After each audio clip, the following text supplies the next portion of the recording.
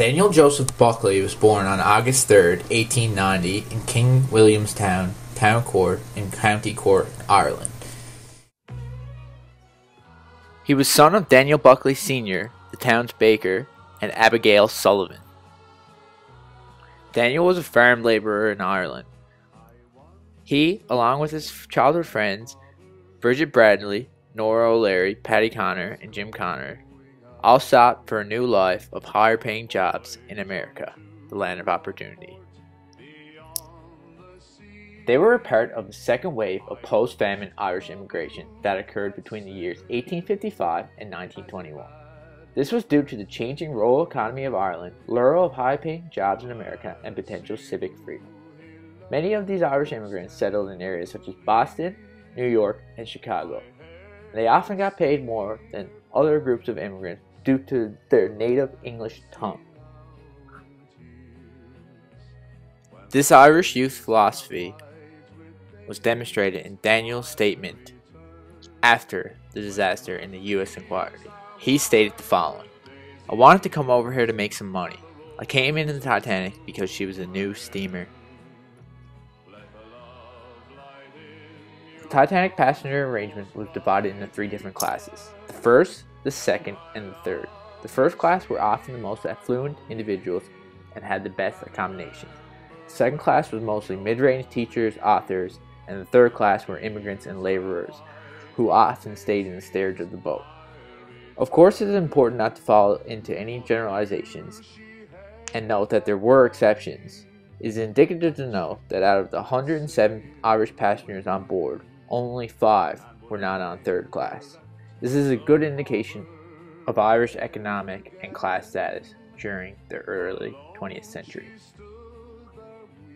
While one may never know for sure what exactly occurred during Daniel Buckley's time on the Titanic, what we do have are primary documents such as his testimony in the U.S. Senate inquiry, as well as his letter written on the Carpathia and other letters that follow, and other witnesses' documents and letters. According to these documents, Daniel Buckley's time on the Titanic went as follows. He was sleeping in his room and heard a grinding noise. He arose and felt small amounts of water on the floor. He, is, he alerted his friends and they apparently laughed at him. Then, Buckley went upstairs to see what was going on and heard a sailor shouting, All up on deck, unless you want to get drowned! He then raced down towards his room in an effort to get a life vest however, saw that the water was now too high to get down beneath it. Consequently, Daniel made his way back upstairs, and from his account, a sailor or someone of the sort had locked the door and barricaded the third class members from getting upstairs.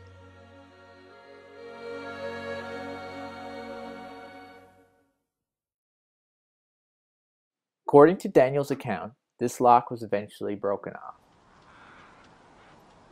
This incident was brought up in both the US and British inquiries. Daniel was questioned about the event and stated that it had occurred. Oddly enough, he replied that the third class had just as much chance as to get to the lifeboats as the other classes. The British inquiry had a final report on third class complaints and discrimination and stated the following There was no truth to the impediment of third class passengers to lifeboats or any other discrimination. They account the third class high casualty rate due to third class members' inability to desert possessions and objects and stay with the boat. According to Buckley's account, he jumped on a lifeboat with men after the women had boarded. A few sailors then drew their pistols and fired above the men, demanding they get off. Buckley was next to a woman who he mistakenly identified as Mrs. Astor, and she said the following You're somebody's son, and then covered him with a lady's shawl or cloth. This became part of a legend of the man who was disguised as women during the Titanic, but it was more of a myth than the actual. Daniel and the others in his boat were rescued by the ship Carpathia. He then lived in New York for the next few years, living with his relatives, and he worked at a hotel. At the same time, Buckley was looking for his financial relief. Another impostor, self-proclaimed Daniel Buckley, was receiving money from the charitable relief. According to the newspaper, the two were brought face to face until the imposter was revealed as a high grade imbecile and put in the hospital of feeble minded children on Randall's Island.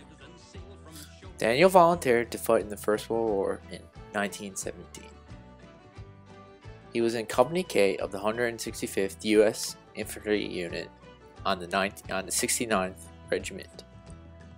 This regiment was primarily Irish immigrants. During the time of war, he sent back much of his salary to his parents, wrote about his experience in the Titanic, and also fought in the Balkans and France while receiving medals for doing so. Buckley would eventually get sustained wounds die from sustained wounds from a sniper while retrieving a wounded soldier on the Western Front in October 1918.